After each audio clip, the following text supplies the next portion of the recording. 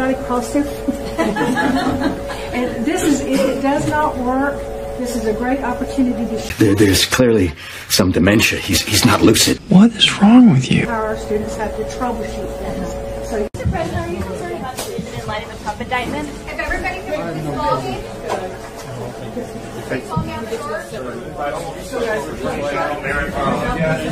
What in the hell are you talking about?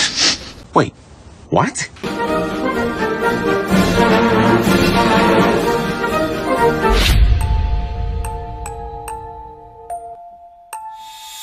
You drunk? No.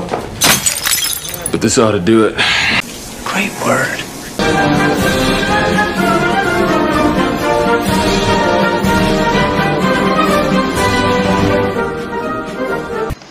What the hell is the world coming to? Nope. A bumbling, inept fool. Oh, looking like what's he gonna do next?